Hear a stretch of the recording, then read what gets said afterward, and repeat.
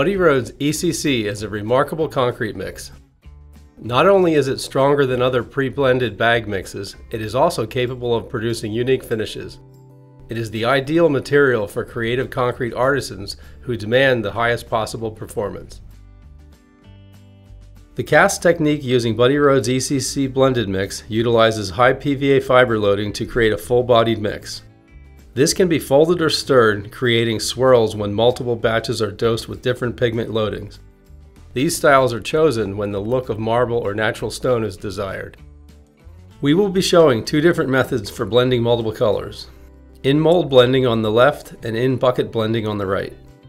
Although the mix design and mixing process is the same for each technique, the way the colors are blended and placed will be different. For this project we will be using Buddy Rhodes ECC blended mix, chilled water, water reducer 420, PVA 15 fibers, PVA 100 fibers, and pigment. Begin by adding the chilled water to a mixing vessel Add most of the pre-measured water reducer 420 and 3 quarter of the dry material and blend well. Add the remaining dry material and blend until homogeneous. Scrape the sides to incorporate all dry material. Take note, this mix should be extremely fluid prior to adding the PVA fibers. Add the remaining water reducer if needed and blend well. Add the PVA 100 fibers followed by the PVA 15 fibers and blend well.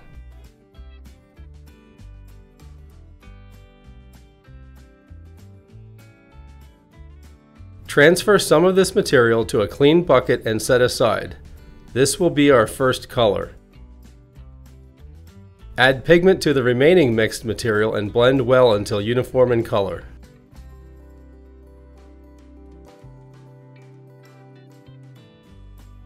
Remove some of this material and set aside. This will be our second color. To the remaining mixed material, add more of the same pigment and blend until uniform in color.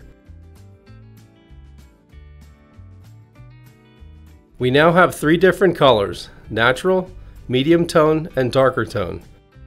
This is where the two methods differ. Let's start by showing the in-bucket blending technique. Combine material from all three batches into one container and fold them together by hand.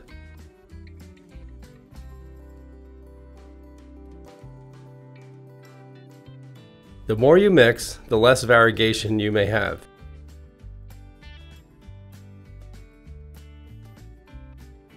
Pour the mixture into the mold, allowing the material to fall in a random fluid pattern.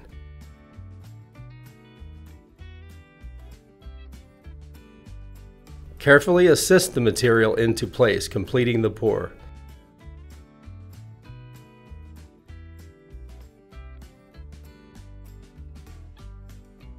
Tap or vibrate the mold to help consolidation. Do not massage the material in the mold as this will disrupt the natural swirl contrast created.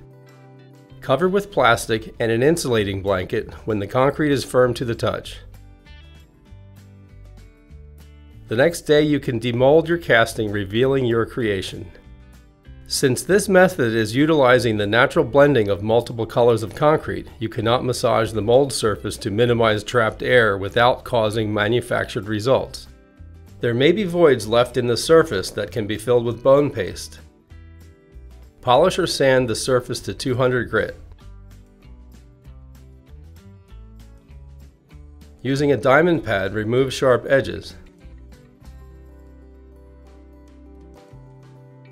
Mix water, bone paste, and the same pigment used in the casting to create a creamy slurry consistency.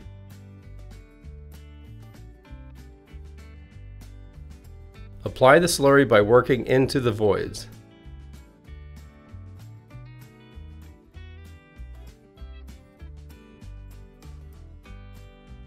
Strike off the excess with a drywall knife in different directions. The next day, polish the excess dry bone paste off with 200 grit diamond polishing pads.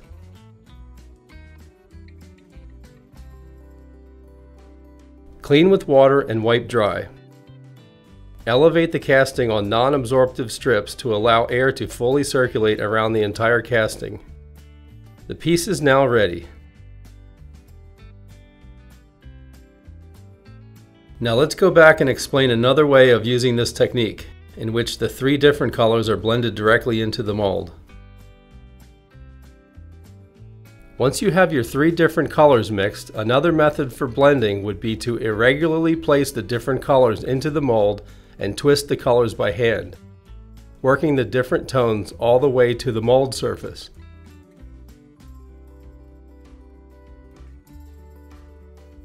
After sufficient blending and swirling, simply fill the form the rest of the way.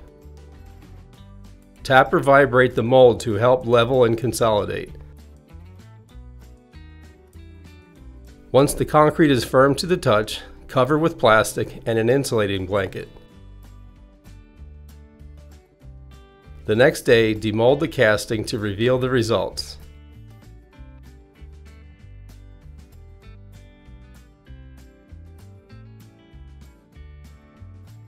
Lightly polish or sand the surface with 200 grit diamond pads on a wet polisher or by hand.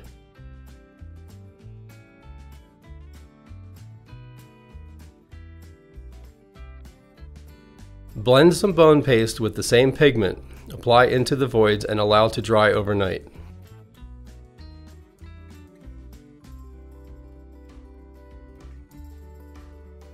Process the dry bone paste flush with the surface using 200 grit diamond pads on a wet polisher.